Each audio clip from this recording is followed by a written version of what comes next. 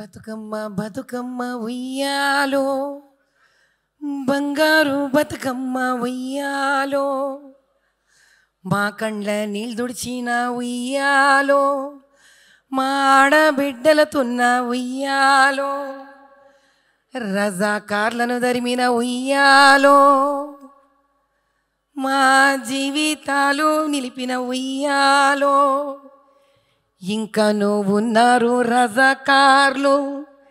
మళ్ళీ తరమని రావే ఉయ్యాలో. ఆడబిడ్డలని చూడరు ఉయ్యాలో. హిందూ ముస్లిం చూడరు ఉయ్యాలో.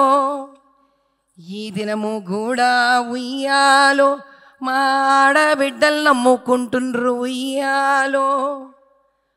బతుకమ్మ బతుకమ్మ ఉయ్యాలో మళ్ళీ భూమికి దిగిరా ఉయ్యాలో.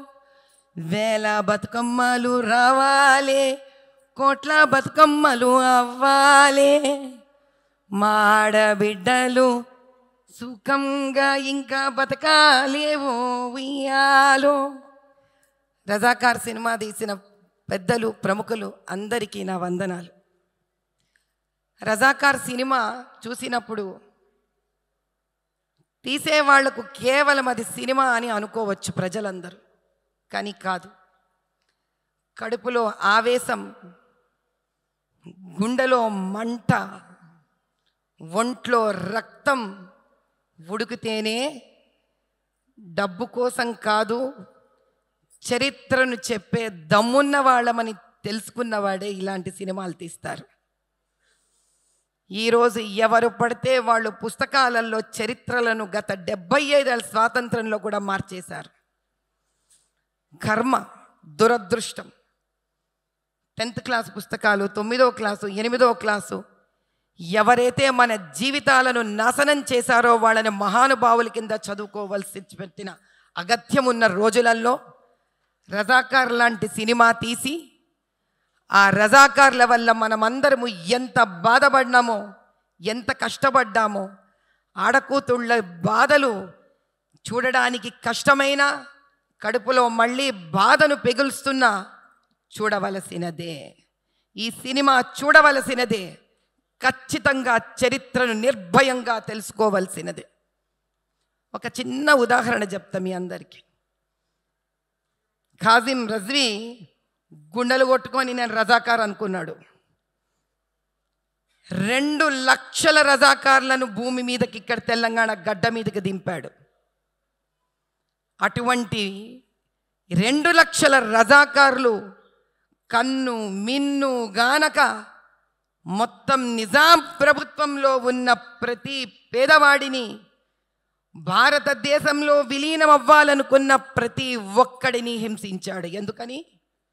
ఎందుకంటే భారతదేశంలో అప్పుడు స్వాతంత్రం వచ్చిన తర్వాత ఒక చిన్న సంతకంతో చేరి చేరింది మైసూర్ ప్రెసిడెన్సీ.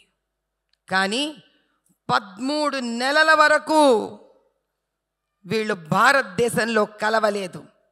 అందుకే it is a liberation day not an integration day liberation దేన్నంటారు తెలుసా?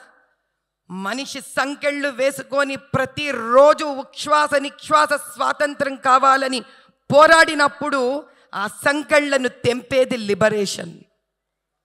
అటువంటి లిబరేషన్ని ఈరోజు సెప్టెంబర్ పదిహేడున మోదీ గారు అమిత్ గారు మనకి ఇవ్వడము మన అదృష్టం.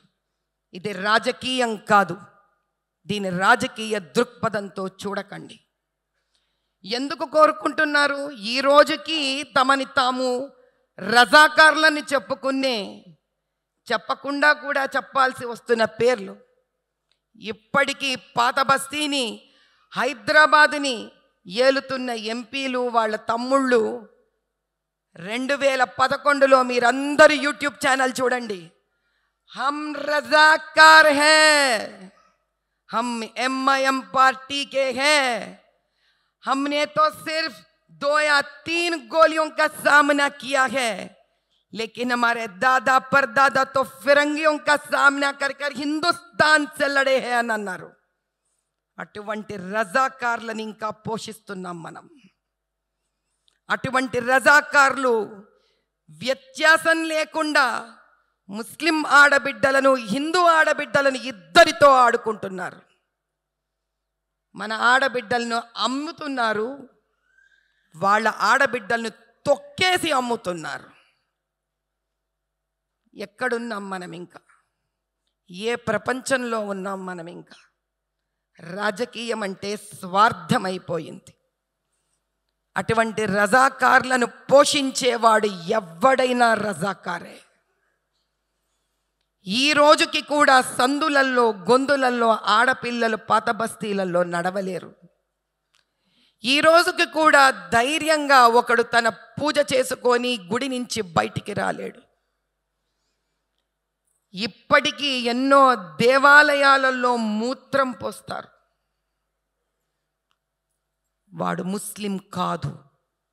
అది చేయిస్తున్నది రజాకార్. హైందవులకు ముస్లింల మధ్యలో గొడవలు తీసుకురావడమే వాళ్ళ పని. అందుకన్నా ఈ సినిమా చూడాలి. ఎందుకంటే ఈ సినిమా కళ్ళకు గంతలని విప్పుతుంది. ఒక స్వచ్ఛమైన ముస్లిం సోదరుడు ఎలా ఉండాలో నేర్పిస్తుంది. ఒక మంచి హిందువుని ఎలా హింస ఒక రజాకార్ పెట్టాడో చూపిస్తోంది. ఈ సత్యం కళ్ళు తెరిపించాలి. ఈ సత్యం నవీన తెలంగాణని ముందుకు తీసుకొని వెళ్ళాలి. ఈ సత్యం స్వార్థపూరిమిత పూరితమైన మనుషులకి అంతం చూపించాలి. ఈ సత్యం మన ఆడపిల్లలను ధైర్యంగా వెళ్ళేటట్టు చేయగలగాలి ఇప్పటికైనా ఈ దేశం మనది. ఈ స్వాతంత్రం మనది. లిబరేషన్ అని రాస్తే చరిత్రను మారే మార్చేస్తామేమో చరిత్రను నిజమైన చరిత్రను చూపిస్తామేమోనని వాళ్ళ భయం. అందుకే వాళ్ళకి లిబరేషన్ అనే పదం వద్దు. ఈ రోజు వరకు మనమందరం అమాయకులం అందుకే మన చరిత్ర ఎవడు పడితే వాడికి కావలసినట్టు రాసేశాడు. ఇష్టం వచ్చినట్టు వేదాలు వాడిచ్చాడు వీడిచ్చాడు అని చెప్తారు. మన సంస్కృతిని మనకే ఎవడో తెచ్చిచ్చాడని చెప్తుంటారు. ఇంకా ఈ డ్రామాలు జరగవు. ఎందుకంటే రజాకార్ సినిమా తీసేలాంటి యోధులు తయారయ్యారు కాబట్టి. చరిత్రను నిర్భయంగా పుస్తకాలలో రాయలేకపోయినా పిల్లల కోసం సినిమా ద్వారా ఒక నవీన చరిత్రను సృష్టించగలరు కాబట్టి.